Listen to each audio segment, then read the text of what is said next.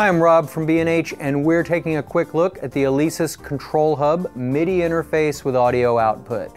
This inexpensive, streamlined, and ultra-portable little box weighs less than half a pound and connects to your Mac or PC via USB. Its MIDI in and out ports then allow you to send MIDI information from MIDI keyboards, drum machines, and other devices back and forth to your computer.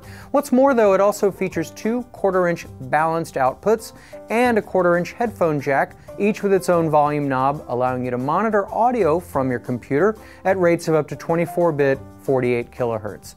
The other quarter inch input is for a one or two button foot switch, allowing you to send MIDI control change or CC messages that you can assign in your software. Power to the control hub is supplied by your computer, and it's also class compliant, so no drivers are needed for Mac or Windows. Just set it up in your preferences and you're good to go.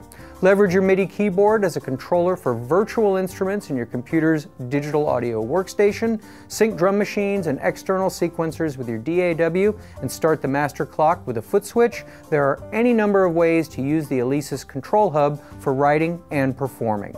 I'm Rob from B&H, and thanks for watching.